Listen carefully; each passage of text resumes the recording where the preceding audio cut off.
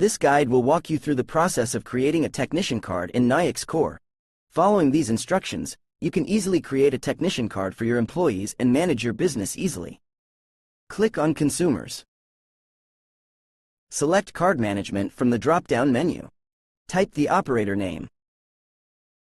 Select Technician Card from the drop-down menu. Choose the card physical type. The card type can be swipe card, contactless card, contactless sticker, or dual card swipe plus contactless. Type the card's unique identifier. Select Active to activate the card. The following information will help you manage your data more effectively and to specify the details of the card. When you are finished, click on Save. In this guide, we covered the step-by-step -step process of creating a technician card in the Nayax core. For more videos, check out our YouTube page. Thanks for watching.